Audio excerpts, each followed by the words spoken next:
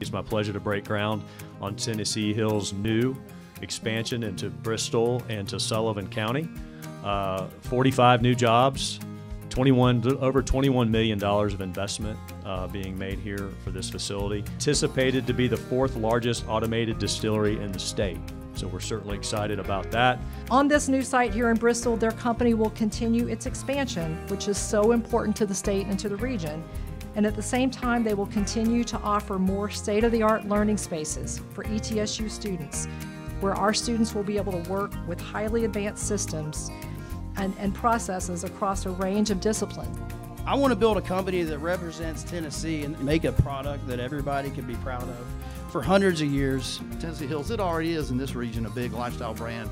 It's not going to be just statewide, it's going to be national. And uh, one of our goals is to make all Tennesseans proud of the craft in this industry and what this industry does.